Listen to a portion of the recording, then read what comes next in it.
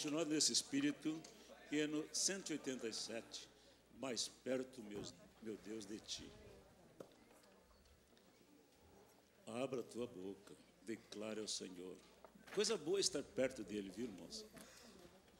Agora ele segura a nossa mão e agora nós estamos pertinho dele.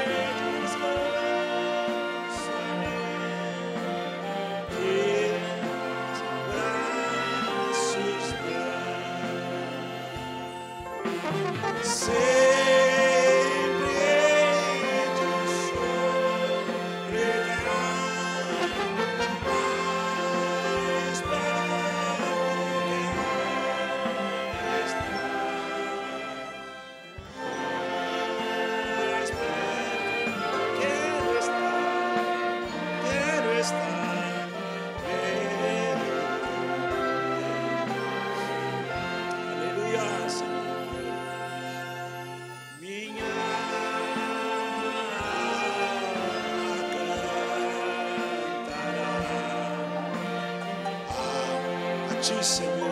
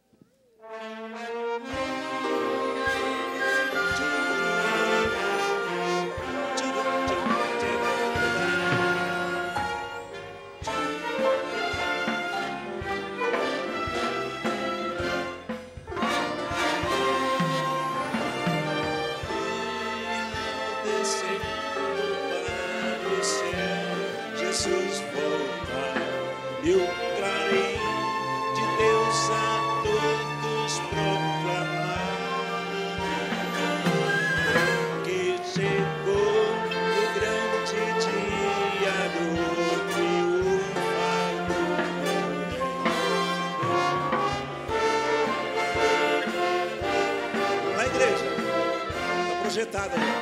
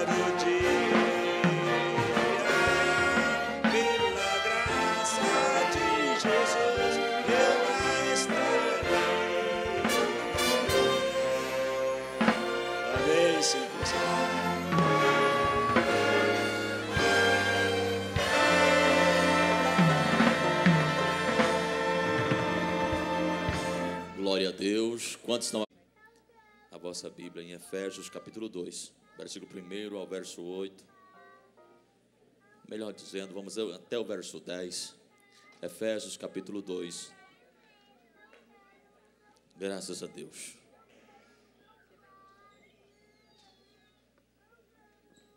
Os irmãos estão vendo a igreja assim, ornamentada. Tivemos a EBF das nossas crianças e logo após a leitura e oração, eles terão um trabalho a apresentar aqui, já tem toda a liberdade para fazer. Amém? Diz assim a palavra do Senhor.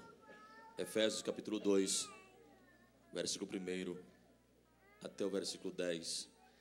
Ele vos deu vida, estando vós mortos nos vossos delitos e pecados, nos quais andastes outrora, segundo o curso deste mundo, segundo o príncipe das da potestade do ar, do espírito que agora atua nos filhos da desobediência, entre os quais todos nós andamos outrora, segundo as inclinações da nossa carne, fazendo a vontade da carne e dos pensamentos, e éramos por natureza filhos da ira, como também os demais. Mas Deus, sendo rico em misericórdia, por causa do grande amor com que nos amou, e estando nós mortos em, em nossos delitos, nos deu a vida juntamente com Cristo. Pela graça sois salvos, e juntamente com Ele nos ressuscitou e nos fez assentar nos lugares celestiais em Cristo Jesus, para mostrar nos séculos vindouros a suprema riqueza da Sua graça em bondade para conosco em Cristo Jesus. Porque pela graça sois salvos, mediante a fé, e isto não vem de vós, é dom de Deus. Não vem das obras para que ninguém se glorie, pois somos feitura dele, criados em Cristo Jesus para as boas obras, as quais Deus de antemão preparou para que andássemos nelas. Quantos podem dizer amém? Graças a Vou trazer um relatório para a igreja do trabalho maravilhoso que nós conseguimos realizar nessa semana. Aí, algumas vezes, subimos aqui para fazer a divulgação da nossa IBF, que aconteceria durante essa semana, dia 8 ao dia 11. E nós estamos felizes porque o nosso propósito foi é, é, cumprido, né? Nosso objetivo foi alcançado, porque nós fizemos diferente esse ano, como foi anunciado. Nós envolvemos todas as professoras de todas as nossas congregações para esse trabalho. E então nós resolvemos começar a nossa EBF lá na Regional Sul, realizando lá no Padroeira 1, né? E lá nós tivemos na quarta-feira com frio, com aquele tempo que estava 400 crianças. E lá nós tivemos a cooperação da PEC, que esteve conosco contando histórias. Fizemos um louvor gostoso, a criançada tomaram um lanche e foi muito bom o trabalho lá. No feriado, quinta-feira, né, nós levamos as nossas crianças e realizamos a nossa EBF na Regional Central, que aconteceu lá no Viliara. Também nós tivemos lá 400 crianças.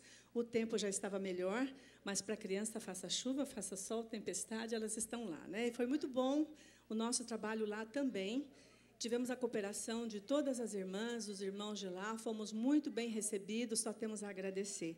Na sexta-feira, nós fomos lá para o Portal 1 e realizamos com a região é, Regional Norte, fizemos a IBF, nós tivemos a presença de umas 200 crianças, mais ou menos, então, que participou essa semana na IBF, nas regionais, foi em média de mil crianças, convidadas, visitantes, as nossas crianças das nossas congregações em geral. E depois fizemos ontem aqui o nosso encerramento. E aqui nós, a nave abaixo lotou de criança, pedimos para os professores que ficassem em pé nas laterais, porque nós não tínhamos mais lugares. Não quisemos ocupar a galeria, porque por não, por não correr risco, né? a criançada ficava debruçando ali, era perigoso. Mas para informar para os irmãos, eu não sei exatamente quantos bancos tem aqui embaixo, mas tivemos a presença de 700 crianças com adultos aqui. E nós, então, usamos, é, nesse ano, o tema Caçadores do Tesouro Perdido. Então, os irmãos estão vendo aqui um grande barco, né? Nós tivemos uma grande Bíblia aqui desse lado, mas nós tivemos que tirar para não atrapalhar os nossos irmãos aqui atrás. E o nosso propósito foi trazer para as nossas crianças que o nosso maior tesouro é Jesus Cristo no coração. E que o caminho para elas encontrar Jesus é a palavra de Deus. Então, um dos nossos tesouros é a Bíblia. Né? E nós ensinamos esse versículo principal que está em 2 Timóteo, capítulo 3, versículo 16, que diz: Toda a escritura divinamente inspirada é proveitosa para ensinar, para redarguir, para corrigir, para instruir em justiça. E todas as crianças aprenderam esse verso e usamos como tema principal. E foi uma benção, irmãos. Né? Então, eu quero agradecer todos os irmãos que cooperaram. Pedimos a colaboração também dos nossos diáconos, eles estiveram presentes. Muito obrigada, irmão, né, que trouxe a equipe que nos ajudou, né, cuidando dessas crianças. Nós tivemos a presença, não digo todas as congregações, porque algumas irmãs trabalharam e não puderam estar presentes. Quero agradecer à irmã que nos ajudou, né, nos é, ofertando com alimento. Quero agradecer à irmã Cida, com toda a sua equipe na cozinha, que se esforçaram e cozinharam para todas essas crianças. Fizemos o um almoço para elas. Enfim, nós convidamos a tia Kátia, né, que é uma irmã da Assembleia de Deus de Diadema, que ela ministra para as crianças no Brasil inteiro. E ela esteve conosco ontem aqui ministrando para as crianças e foi uma bênção a ministração. As crianças, muita, nós não contamos o número de crianças, mas teve muitas crianças aceitando a Jesus Cristo ontem, nas congregações também. E depois houve um apelo, houve um apelo para as nossas professoras, né, e coordenadoras e auxiliares de crianças. E essa frente também encheu de professores se reconciliando com Deus, fazendo o propósito de fazer um trabalho melhor com as crianças é, onde elas estiverem. Né? Enfim, eu quero só agradecer também o pastor que também nos ajudou cooperando conosco, né? todos os irmãos que também ofertaram. E nós estamos felizes, porque esse foi o nosso propósito mesmo, de trazer as irmãs das congregações para perto, nós conseguimos. E já marcamos um treinamento para é, capacitação, um treinamento de curso para é, professores e pais, que vai acontecer dia 8 do 8 aqui e então todos que quiserem participar estão convidados. Quem quiser maior informação, depois nos procure. E esse curso é para as professoras, para elas poderem se, é, é, para elas poderem assim se aperfeiçoar melhor no ensino da palavra para com as nossas crianças.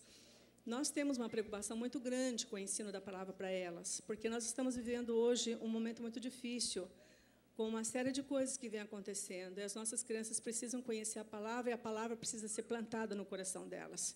Existem muitos pais que não acreditam na conversão de uma criança, mas esse é o momento delas conhecerem Jesus, porque se você espera que ela venha conhecer Jesus na adolescência, é tarde demais.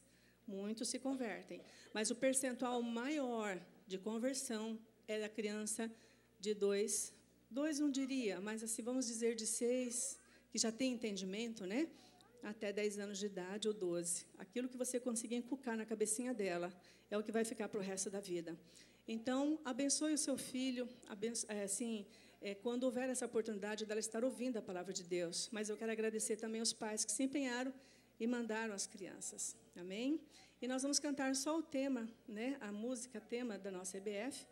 É, sim, só quero finalizar dizendo que nós fizemos um, uma campanha, não seria bem a campanha, mas nós dizemos para as crianças que trouxesse é, quilo, é, um alimento não perecível, para a gente poder abençoar irmãos, famílias que estão carentes, precisando de alimento. Então, nós conseguimos arrecadar 355 quilos. Né? Ainda está chegando alguma coisa a mais. Isso é, nós recebemos para poder estar abençoando famílias e tivemos presença de visitantes, 150 crianças visitantes, né, que as nossas crianças mesmo convidaram e trouxeram, né? Amém? Muito obrigada. Deus abençoe vocês.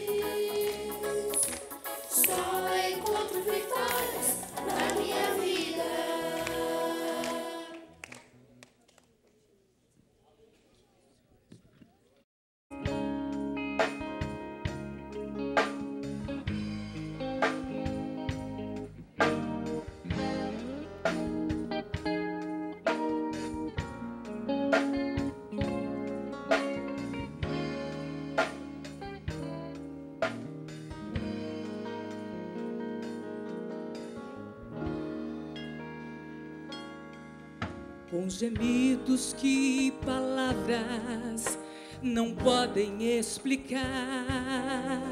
Ele leva ao Pai as minhas intercessões. Quando dobro os meus joelhos em meio às tribulações, Ele ouve o gemido do meu coração Jesus, a ti confesso, não dá pra viver sem sentir a tua presença no meu ser. Sou eterno dependente, ser humano tão carente. Estou de novo aqui e quero teu poder.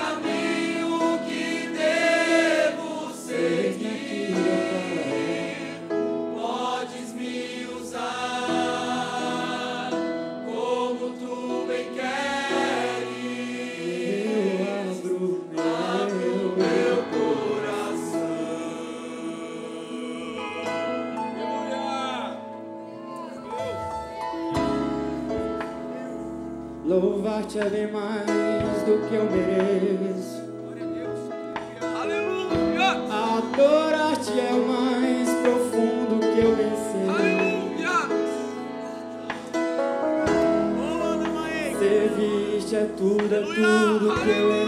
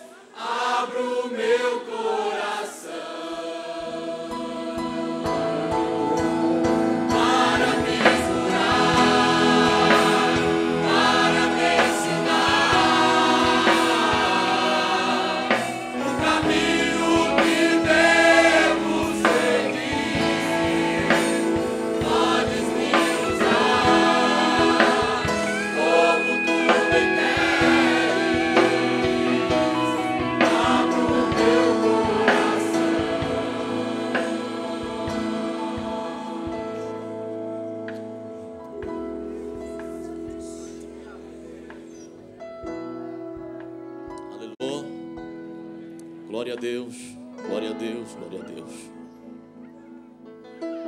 Aleluia. Meus amados irmãos, nós já vamos ouvir a palavra do Senhor. Nós queremos neste momento também expressar nossa gratidão a Deus e também ao nosso pastor José Amaro, pastor Luiz, que auxilia nesta igreja, para o campo foi pastor Joel Moisés e pastor Jezanias, daqui da igreja, representando o coral, pastor Elias, uma Regina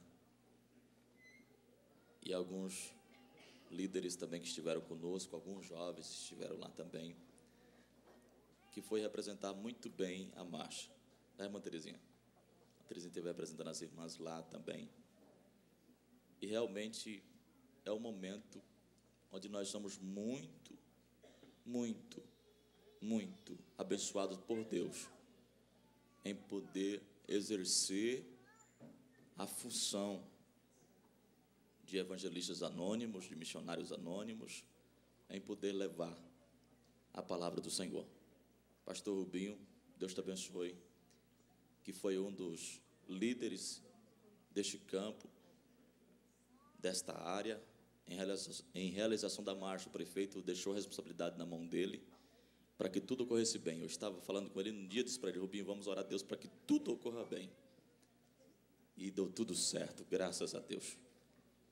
Louvo a Deus porque foi nossa igreja, foi nossa igreja que teve a visão da marcha com evangelismo de impacto.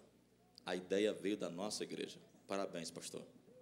A ideia de nós conquistarmos as Bíblias, as Bíblias, para nós entregarmos. E foram entregues mais de 10 mil Bíblias para a cidade. Histórico. O que mais valeu. Posso testemunhar o que eu falei na terça-feira aqui. No sábado que antecedeu a marcha, no sábado passado, sem ser, esse, sem ser ontem, foi o evangelismo. Recebemos jovens de várias igrejas, inclusive das nossas congregações. Jardim Lofredo veio em massa para cá. Uma igreja pequenininha, mas eles vieram em massa para cá para trabalhar conosco. A Terezinha esteve aqui apresentando as irmãs também, a irmã Santina. E nós fomos aos faróis da cidade, principalmente aqui do centro, bem localizado aqui. Nesse farol aqui de cima, da autonomista com a primitiva, perto da Igreja da Graça aqui em cima, ficou um grupo de jovens ali.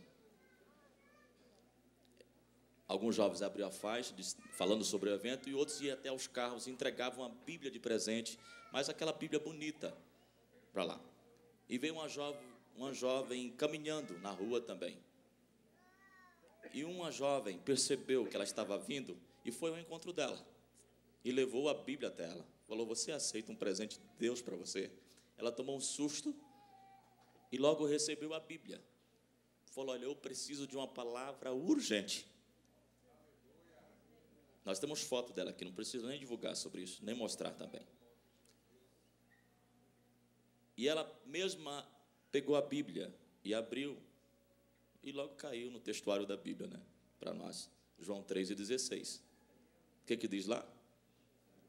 Porque Deus amou o mundo de tal maneira que deu seu Filho unigênito, para que todo aquele que nele crê não pereça, mas tenha ela abraçou a Bíblia e começou a chorar.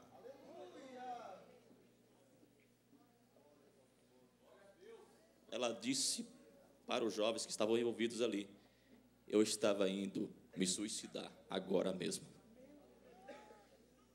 Quanto que vale um momento deste, irmãos? Uma, uma simples atitude. Simplesmente a jovem chegou, você aceita receber um presente de Deus para você? Ontem, durante a chuva, a gente percebe que poderia, e é um trabalho principalmente para os jovens da nossa igreja. Nós tínhamos alguns jovens só lá. Incrível que pareça, nós tínhamos mais irmãos de idade do que jovens. E principalmente, eu louvei a Deus porque tem um cadeirante, pastor Natanel, da nossa igreja, da congregação. Ele foi no ano passado e amou, ele falou, não perdo nada, estava lá, o cadeirante. Alguém levando ele lá, mas ele feliz da vida, participando da marcha também, cantando com os irmãos. E percebia que no, no próprio farol, o ônibus vinha e percebi uma ação que quando os jovens mais ousados deram o sinal para o motorista, ele abriu a porta do ônibus, os jovens entraram e entregaram Bíblia para todo mundo. Uma cena que entregando a Bíblia para o motorista, ele falou: "O melhor presente que recebi neste ano". A irmã recebeu a Bíblia, que eu falo de irmã porque ela pegou a Bíblia e apertou no peito forte e agradeceu a Deus, beijou a Bíblia. Agradeceu porque para ela, para ela tem muito valor aquele presente. Quanto custou uma Bíblia dessa? irmãos que se envolveram no projeto doaram. A Bíblia custou R$ 4,90. O que, que é R$ 4,90? Você vai ao shopping com R$ 4,90, Arthur? Você vai? Você vai aonde mais? Ao McDonald's com R$ 4,90? Lá, lá. Mas vale muito uma ação como essa. Deus abençoe. O que deu a entender, pastor Zé Amaro? E que quando nós chegamos lá, e a gente percebe o respeito que tem a nossa igreja, pastor Elias, quando chega num ambiente desse. O respeito quando chega o pastor Zé Amaro, que esteve na marcha também, lá conosco, andando conosco. E quando chega lá, o que dá a entender, pastor Rubens? É que se nós envolvemos de fato, daqui uns dias a marcha, ela vai parecer muito mais com a nossa igreja. Porque é para ser da nossa igreja, pastor Natel. Nós recuamos as outras igrejas, que às vezes não têm um compromisso muito sério com a palavra, e tem. Aí colocam e apresentam qualquer coisa. Mas nós temos que tomar o lugar e levar a palavra de Deus para eles. No ano que vem, o sonho é nós termos uma palavra evangelística no final da cruzada. E você verá milhares de gente lá, de pessoas, quem sabe rendendo aos pés do Senhor Jesus. Não é isso, Paulo? Isso é lindo demais. Presbítero Jorge, vem cá, filho. Você mesmo, pernambucano. Eles são no projeto também. A sua esposa, a irmã Marli, também nos ajuda no trabalho principalmente social, ela é ginecologista também, junto com a Humanitar. Nos trabalhos que nós estamos fazendo nas cruzadas, ele vai nos trazer uma palavra de Deus para cá. Acho que os irmãos nunca ouviram ele trazer uma palavra e hoje ele vai ser bênção de Deus para nossas vidas aqui. Amém? Quando ele chega aqui, mais um mês passou, mês seis passou e nós conseguimos cumprir mais uma vez os pagamentos para todos os missionários. Nessa terça-feira entregamos ao pastor Zé Amaro os missionários de fora e já na quarta-feira também mandamos o, já a alimentação para as nossas crianças lá na África com o pastor Eliel, pastor Zé Amaro. Graças a Deus. Graças a Deus o Senhor vai dando o que realmente precisamos. Graças a Deus por tudo isso. Obrigado, irmãos, por estar sempre investindo na obra missionária. Nós queríamos ter muito tempo para falarmos e mostrar para os irmãos. Tem até um vídeo de todos os missionários aqui agradecendo a igreja, porque eles estão lá, animados porque essa igreja está por trás, mandando sempre o pão que eles precisam, a injeção de ânimo que eles precisam. E eles estão lá anunciando a Jesus. Pastor Eliel também fica feliz quando recebe a ajuda dessa igreja. E os irmãos aqui que são fiel, mensalmente nos ajudam. Começando já do pastor Zamaro, que tem uma filhinha moreninha, né, lá na África também. É verdade. Deus abençoe. Obrigado, igreja do Senhor. Amanhã nós vamos cumprir né, nós vamos cumprir já mais uma parte do caminhão. Não está completo, não, mas Deus proverá todas as coisas. Já vamos pagando 90% do caminhão. Graças a Deus por isso. Vem cá, meu irmão. O presbítero Jorge é pernambucano, está conosco já há alguns anos. E ele vai nos trazer a palavra do Senhor nessa noite.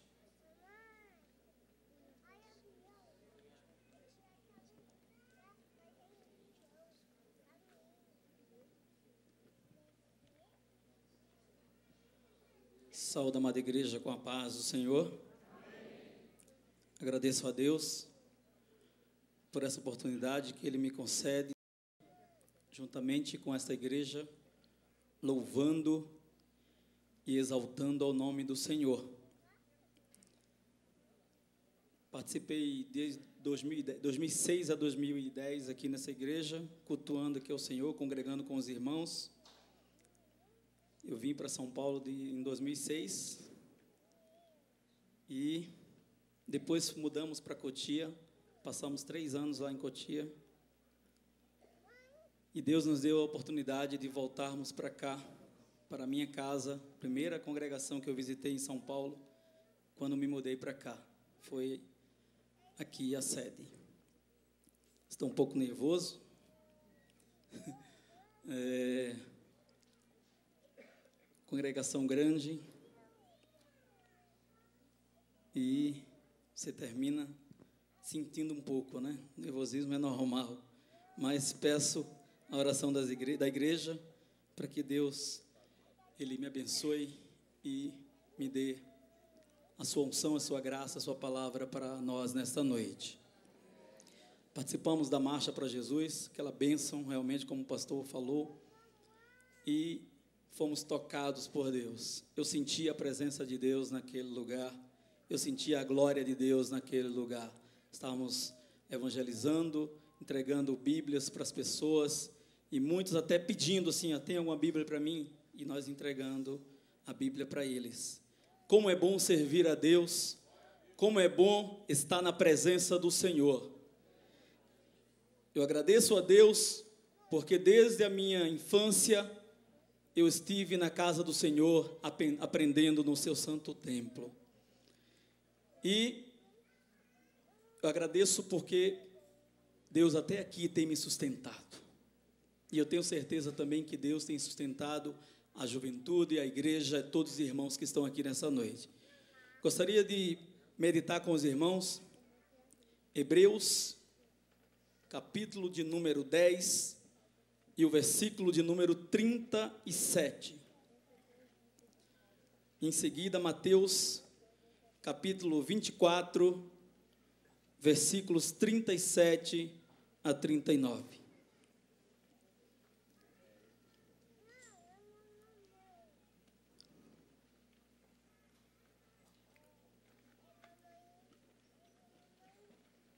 Hebreus capítulo 10, versículo 37 diz o seguinte: Porque ainda um poucochinho de tempo, e o que há de vir, virá e não tardará. Quantos dizem amém? amém? Glória a Deus. Mateus, capítulo 24, versículos 37 a 39.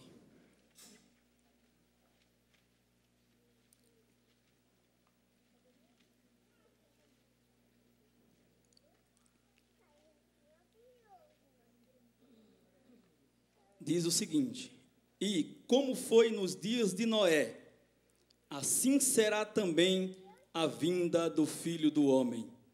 Porquanto, assim como nos dias anteriores ao dilúvio, comiam, bebiam, casavam e davam-se em casamento, até ao dia em que Noé entrou na arca, e não o perceberam, até que veio o dilúvio e os levou a todos. Assim será também a vinda do Filho do Homem. Glória ao nome do Senhor. Temos neste texto, na verdade, é uma parte de um poderoso e glorioso sermão que o nosso Senhor Jesus Cristo ele proferiu quando ele estava aqui no mundo. E esta exortação do nosso Senhor Jesus, ela está falando acerca da necessidade de nós cristãos sermos e estarmos vigilantes, de estarmos atentos a todos os sinais, tudo aquilo que evidenciaria a iminência da volta ou da sua manifestação gloriosa para o seu povo. Nós temos de estar atento a todos os sinais que nós vemos e que está acontecendo. O Senhor Jesus, com muita propriedade, ele utiliza-se de um fato bastante familiar para nós, o povo de Deus. E ele fala e ele cita acerca de Noé. Quando Deus, ele falou com Noé e disse para Noé: Noé, faça uma arca, porque eu quero que você faça uma arca. E naquele momento, naqueles dias, não chovia sobre a terra. Naqueles dias era uma sequidão terrível. Mas Deus, ele falou com Noé e ele pediu para que Noé fizesse. Porém, eu não vou me ater totalmente ao fato da arca em que Noé fez. Mas eu quero falar nesta noite para os irmãos e para a igreja do Senhor sobre alguns sinais que aconteceram nos dias anteriores ao dilúvio. E a Bíblia ela fala que naquele momento existiam duas linhagens. Existia duas raças, duas linhagens distintas, a linhagem de Caim e a linhagem de Sete. A linhagem de Caim, uma linhagem pecaminosa, porque Caim matou Abel. E a partir do momento que ele matou Abel, Deus, ele condenou a Caim. Ele foi condenado. E enquanto que Deus suscitou um outro filho para Adão, chamado Sete, e este filho de Adão, ele é de uma linhagem diferente. Sete representa uma linhagem piedosa, uma linhagem penitente, que procura agir, andar e comportar-se em relação a Deus através da fé. Enquanto que a linhagem de Caim é uma linhagem que desenvolve a linhagem, a linha pecaminosa, que desenvolve o racionalismo, que não se pratica a fé, mas que se preocupa com as obras. Enquanto que Caim, ele se preocupava com as obras, Sete, a linhagem de Sete, ela se preocupava com a fé, ela se preocupava em levantar altares ao Senhor, ela se preocupava em prestar cultos ao Senhor e adorar ao Senhor, ela se preocupava em reverenciar a Deus, ao nosso Deus Todo-Poderoso, que vive e esta, esta família, esta descendência, ela vivia uma vida de obediência e de justiça. E nós podemos ver, nesses últimos dias, em pleno século 21, que isto também está acontecendo. Existem os justos e existem os injustos. Existem os que creem em Deus e existem aqueles que não creem em Deus. Existe o ímpio, mas também existe aquele que é fiel a Deus. Existe aquele que tem Deus em sua vida, que tem Deus no seu coração, mas existe aquele que tem o inimigo das nossas almas no seu coração. E eu quero falar nesta noite que a Bíblia fala que não existe uma terceira via. A Bíblia fala que não existe um terceiro caminho. A Bíblia diz que o caminho é Jesus Cristo. Somente por Jesus nós poderemos chegar a Deus. Somente por Jesus você terá a vida eterna. Somente por Jesus você chegará nos céus. Somente por Jesus você alcançará o direito de adentrar as portas dos umbrais celestiais.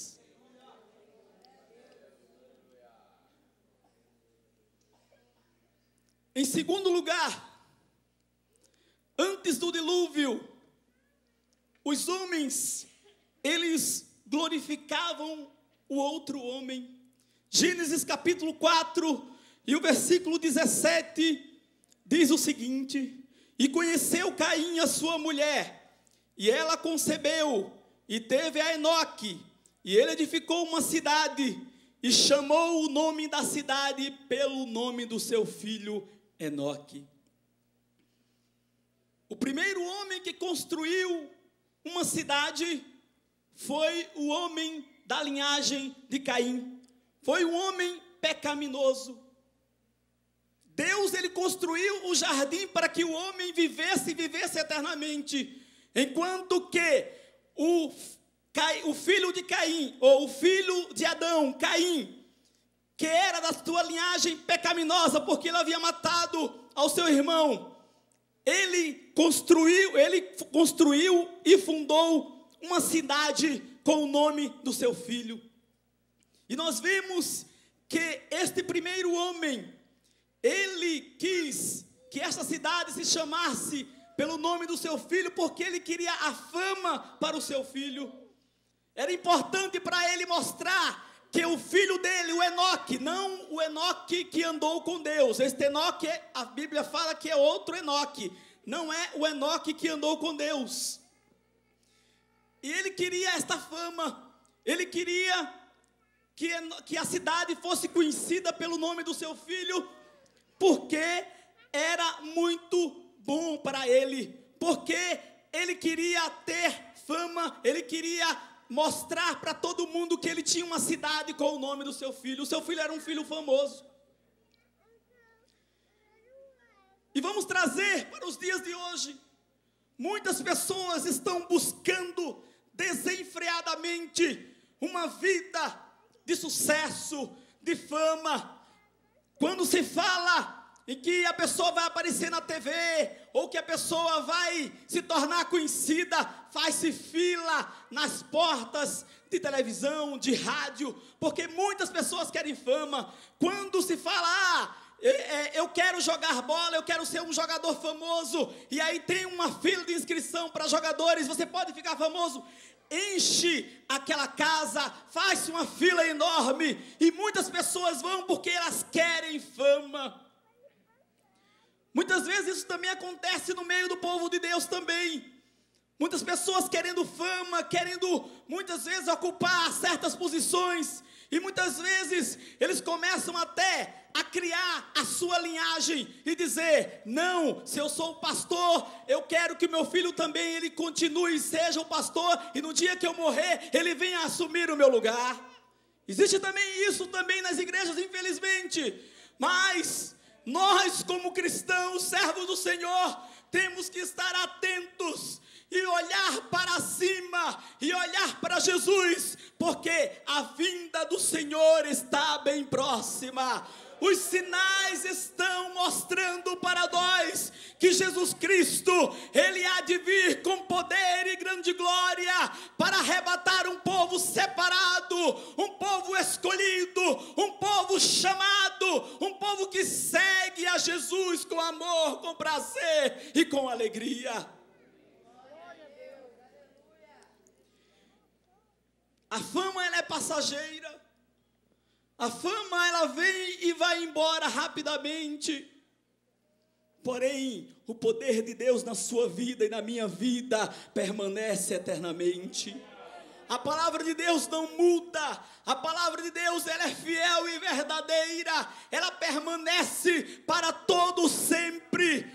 Deus é imutável. O seu poder não muda. Ele é o maior. E se você que está aqui nesta noite pensa que a sua vida ela é uma vida de riquezas, ela é uma vida de prazeres, e você acha que Deus ele não está olhando para você, Deus ele está te olhando e ele está te falando: arrepende-te, porque se você se arrepender, quando Jesus Cristo voltar, você será conduzido juntamente com esta igreja até o reino dos céus.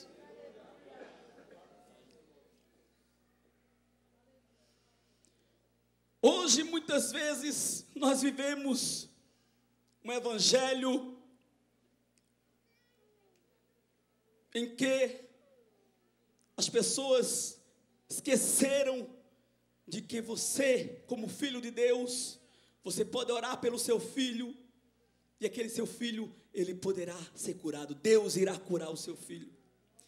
E hoje, muitas vezes, quando o filho de um irmão, de uma irmã fica doente, aí ela começa a olhar e dizer: Ah, se eu tivesse o telefone do pastor fulano de tal, ele ia orar pelo meu filho, e meu filho seria curado porque ele é poderoso, porque ele tem poder. Mas eu quero dizer para você nesta noite: o poder de Deus se manifesta também na tua vida o poder de Deus, ele se manifesta de uma forma tão gloriosa na tua vida, desde que você abra o seu coração e deixe Deus agir na tua vida. As pessoas, muitas das pessoas hoje estão procurando um manto para tocar, Estão procurando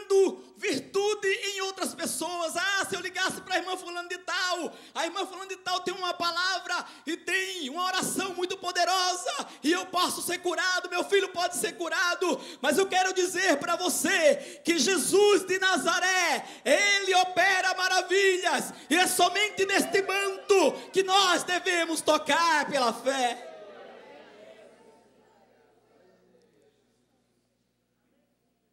Vivemos muitas vezes um evangelho em que achamos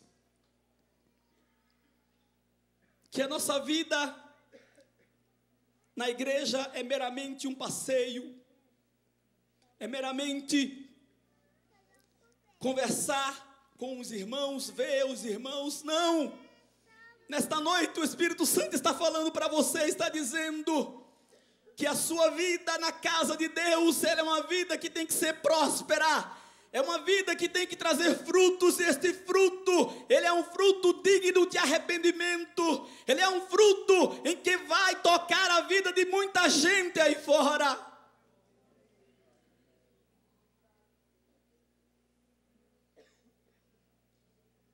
O poder de Deus se manifesta na minha e na tua vida e o Espírito Santo, ele realiza o um milagre na minha e na tua vida.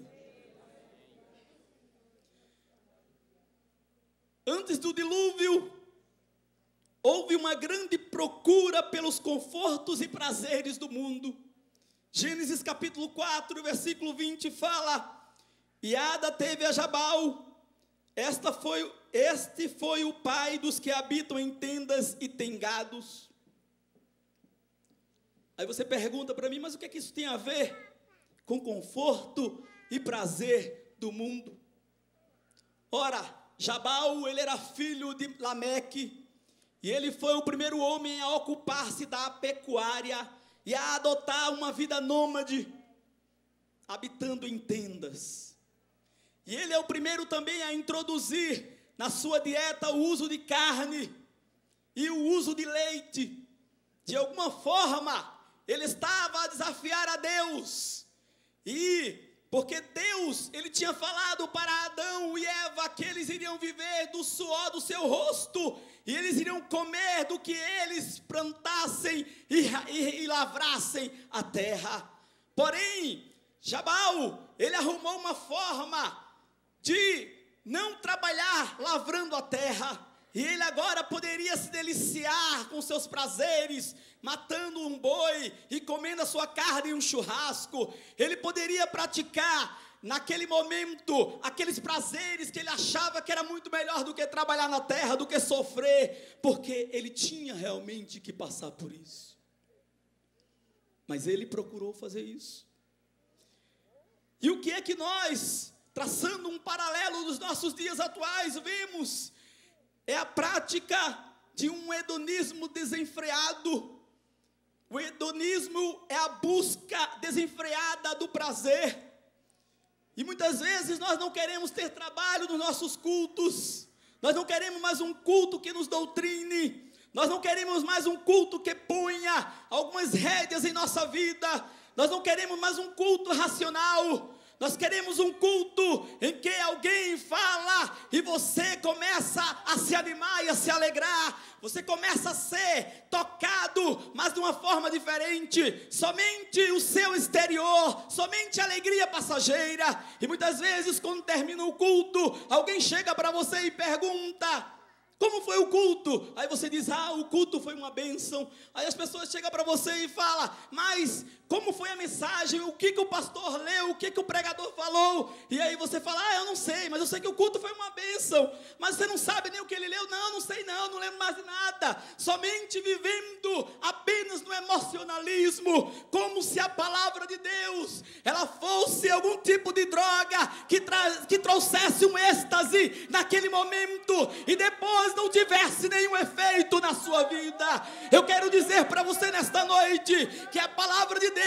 ela transforma, a palavra de Deus, ela toca, a palavra de Deus, ela muda, ela restaura, ela faz aquilo que o homem não pode fazer.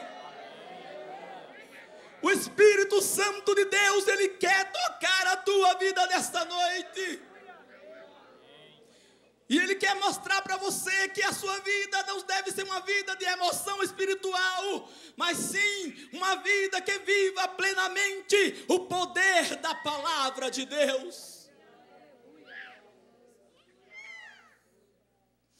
Aleluia, louvado seja o nome do Senhor. Romanos capítulo 12 fala que nós temos que fazer um culto racional ao nosso Deus. Fala também que nós temos que prestar cultos ao Senhor, e este culto tem que ser da razão. Eu tenho que escutar e depois, durante toda a semana, o Espírito Santo vai estar tocando na tua vida e você vai sentir aquela palavra renovando a tua vida incessantemente. Muitas vezes a emoção é muito boa, mas é passageira. E não é isso que Deus quer para a tua vida. Não é isso que Deus quer para a minha vida. Deus quer tocar de uma forma diferente em nossas vidas. Deus quer que nós saiamos do culto impactados pelo poder do Espírito Santo, tocados pela palavra de Deus, cheio da graça de Deus, sentindo Deus bem pertinho de nós. É isso que Deus quer em nossas vidas.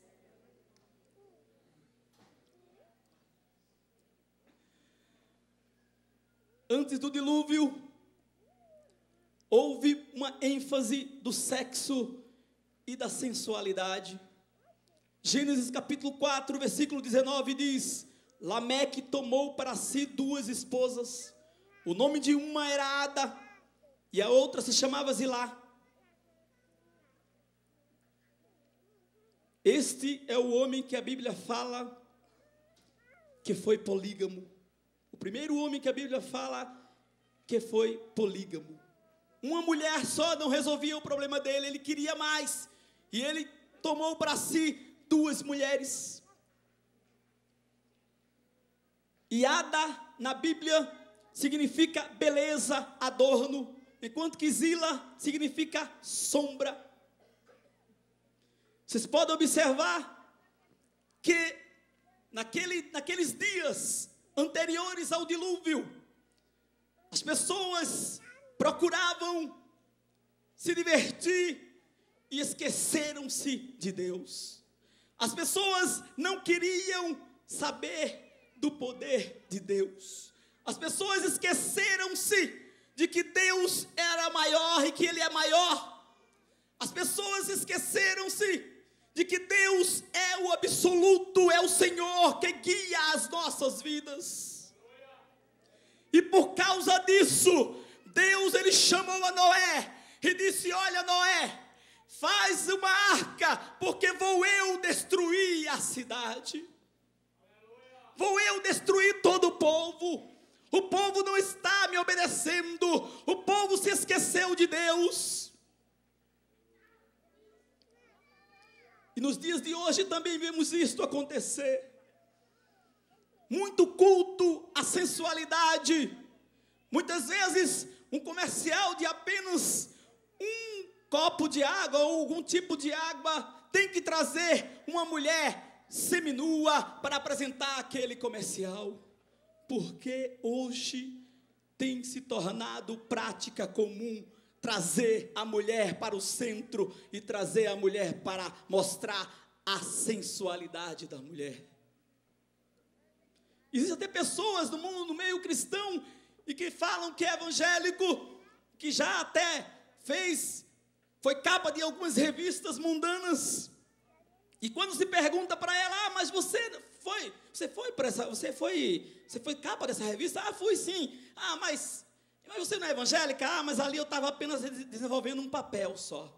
Ali era apenas um papel, não, não era a minha pessoa. Eu, é, um, é, um, é como se fosse um teatro. Apenas eu estava desenvolvendo o meu papel ali, não era a minha pessoa de evangelho. Será que Deus está alegre com isso? Será que Deus está feliz com isso? Nos dias anteriores ao dilúvio, houve promiscuidade espiritual. Gênesis capítulo 6, versículo 2. Viram os filhos de Deus que as filhas dos homens eram formosas e tomaram para si mulheres de todas as que escolheram. Viram os filhos de Deus, que as filhas dos homens, os filhos de Deus nos remetem, nos remetem à luz, à pureza, a pessoa que está na presença de Deus fazendo a vontade do Pai, enquanto que os filhos dos homens nos remete ao ímpio, ao impuro, aquele que não quer saber de Deus, aquele que está em caminho errante. E a Bíblia está nos mostrando nesta noite que hoje também a situação está bem parecida. Assim como nos dias de Noé, nós vemos também isto acontecendo. Muitas pessoas perdendo a identidade. Muitas pessoas estão perdendo a identidade de Cristo em sua vida. Muitas pessoas estão se esquecendo do Senhor, do Criador, e estão se misturando com pessoas que não conhecem a Deus, que não têm Deus em sua vida, que não têm o poder de Deus na sua vida. Porém, o apóstolo Pedro, na primeira epístola de Pedro, capítulo 2, versículo 9, diz: Porém, vós sois geração eleita, sacerdócio real, nação santa, povo de propriedade exclusiva de Deus, cujo propósito é proclamar as grandezas daquele que vos convocou das trevas para a sua maravilhosa luz. Você é propriedade de Deus. Você é propriedade exclusiva de Deus. E Deus ele está dizendo que aquela geração ou esta geração que não está servindo a ele, ele vai destruí-la. Ele não quer saber desta, desta, desta geração que não serve a Deus, que é ímpia, que, é, que vive na corrupção, que vive neste mundo jogado na lama. E Deus, Ele está dizendo que Ele vai destruir. Mas aí ele começa a olhar para você e começa a ver que você é o servo do Senhor, é uma serva do Senhor, e ele diz: Não, eu não vou destruir. Primeiro eu vou tirar a minha igreja da terra, depois eu farei sim a destruição, e aí será com fogo e enxofre.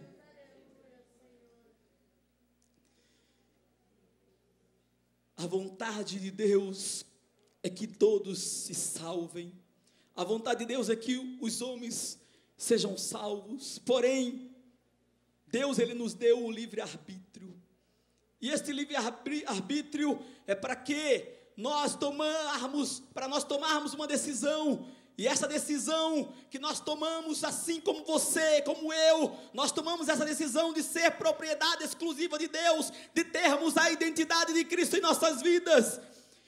Assim como Deus achou graça em Noé, no capítulo 6, de Gênesis, versículos 1 a 7, Deus ele diz que irá destruir a nação, ao povo. Porém, no versículo 8 do capítulo 6, Deus, a Bíblia diz que Deus achou graça em Noé. Deus ele achou graça em Noé, e Noé ele foi salvo, assim como a sua família da destruição.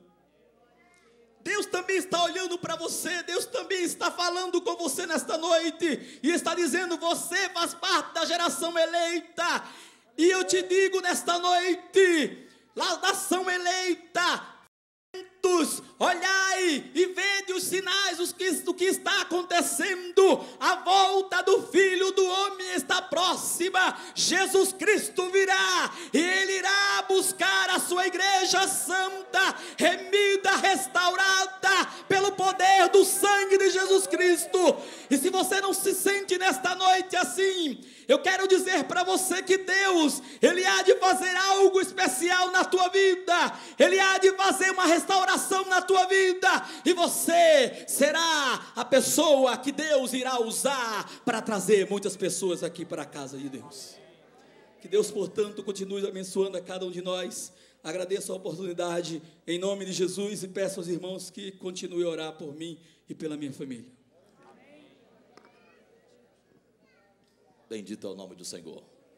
Aqueles que deram ouvido à voz de Deus no tempo de Noé foram salvos. Como é bom ouvir a voz do Senhor, amém? Somente aqueles que não ouviram a voz de Deus, até ouviram, não deram crédito. Amantes de si mesmo, nesta noite a palavra do Senhor vem para a tua vida, desde a leitura da palavra, desde os hinos cantados da arte cristã. Mas vem a graça que está em nosso Senhor e Salvador Jesus Cristo. Lemos a leitura oficial, pois pela graça sois salvos, por meio da fé. E isto não vem de vós, é dom de Deus.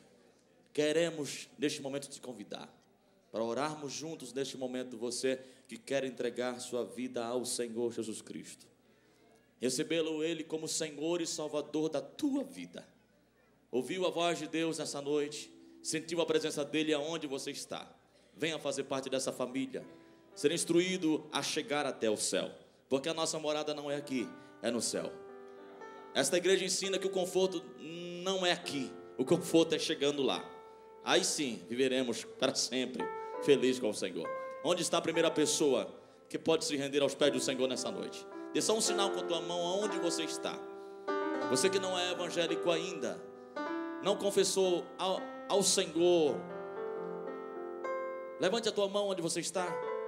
Aqui na nossa direita tem alguém. Veja, irmão, se tem alguém do teu lado. Na galeria tem ali uma jovem.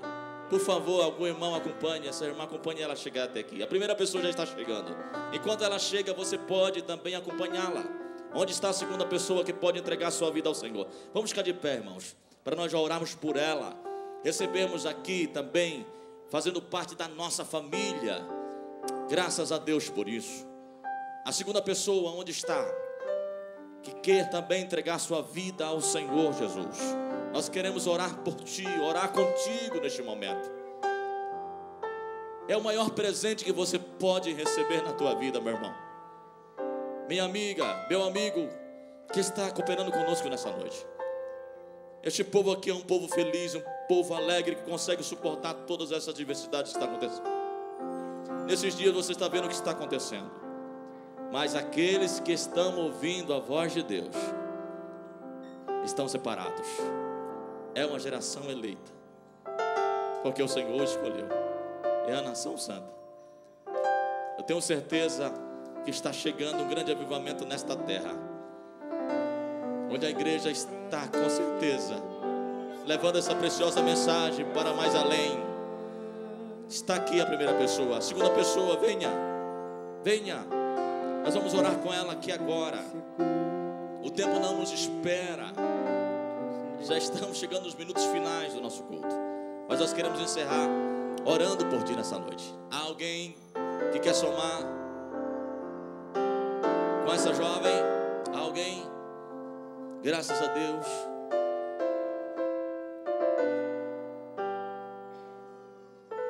A igreja quer receber a Marinalva também como membro da nossa família aqui. Amém? Estenda suas mãos para cá. Em nome do Senhor Jesus. Pastor Zé, ore por ela mais uma vez aqui. Graças a Deus.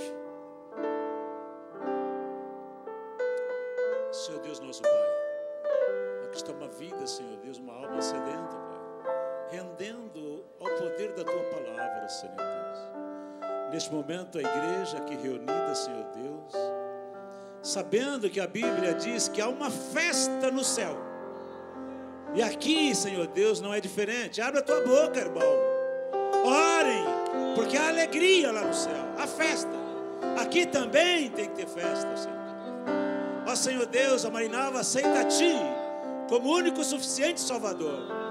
Esteja e seja na vida dela. É o nosso pedido, Senhor. Escreve o nome dela no livro da vida. Apaga todos os pecados, Senhor Deus. É o nosso pedido em nome do Teu Filho amado Jesus Cristo. Amém. Deus abençoe, Marinalva. Nossa irmã conduz ela aqui. Os irmãos entregar uma lembrança para ela aqui. As anotações. Tome um assento só um minuto, irmãos. Só um minuto. Convidamos nossos irmãos que venham aqui, por favor. Meus irmãos, hoje, como os irmãos bem sabem, é o nosso culto missionário. E nós somos uma igreja missionária. Nós queremos convidá-los, irmãos, para nós semearmos mais uma semente nesse campo tão fértil. A terra mais próspera que tem é missões. Nossa igreja é muito abençoada, muito abençoada porque investe nessa obra. Presbítero Jimmy está aí. Vem cá, filho, se dispõe aqui à disposição também. Os irmãos que quiserem ofertar com cartão também, fica, fica em paz. Ele vai até ao irmão Mateus também puder ajudar lá com a maquininha também. Fica em paz. Na mesa de apoio também. Somente aqueles que têm prazer em ofertar para a obra missionária. Esta igreja cada vez mais ela vai mais longe. Nós estamos cumprindo exatamente a ordem do Senhor sobre a expansão do reino aqui nessa terra. Nós queremos te convidar neste momento para você semear. Pode já se levantar com muita calma, com muita paciência, aquilo que Deus colocou em teu coração, já durante o mês inteiro. Tem irmãos que se programam o mês inteiro, não é somente hoje não. O mês inteiro já esperando o culto missionário para ofertar e ministrar a oferta. Pastor Henrique, pode ser com os pastores, puder orar com os irmãos ali embaixo também. Fica em paz, porque nós vamos neste momento receber a oferta da igreja, a oferta dos irmãos que não se cansam, não se cansam de investir neste campo missionário. Paulo, tem um hino aí, Paulo. Em nome do Senhor Jesus. Enquanto isso, nós vamos cantando com alegria, com alegria, adorando o nome do Senhor Jesus Cristo. Os irmãos que quiserem ofertar com cartão, nós estamos com os irmãos à disposição. Está aqui o irmão Jimmy, irmão Davi, puder ajudar. Tem um lá. Pegue uma para cá também, mais uma maquininha. E fica à disposição também. Na galeria, os diáconos estão subindo com as salvas aí, para os irmãos se sentirem confortável também para contribuir para a obra missionária do Senhor. Graças a Deus por isso. Estamos bem. Os missionários estavam um pouco é, temerosos do mês passado. Eles sabem do que, que está acontecendo com o nosso país. Na verdade, o real ele ficou muito desvalorizado. Até o peso colombiano hoje é maior do que o real. Boliviano também, não é? A nossa moeda não está tão valorizada lá fora. Mas eu pedi para eles orarem também, para Deus continuar mandando a semente. Mandando a semente, porque não vai faltar pão na mesa deles. Não vai faltar. Graças a Deus. Os irmãos que estão sentindo de fazer isso, façam. Graças a Deus por isso.